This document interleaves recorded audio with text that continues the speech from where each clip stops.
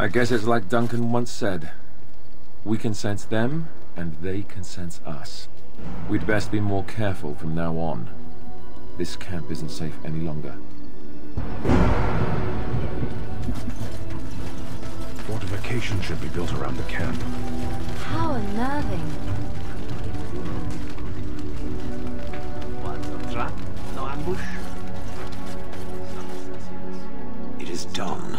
Let us move on. I was just thinking about what happened to the elves, and I am reminded of a song sung to me many years ago. It was when my mother died, and this wise elven woman comforted me and told me that we shouldn't fear death or hate it. Death is just another beginning.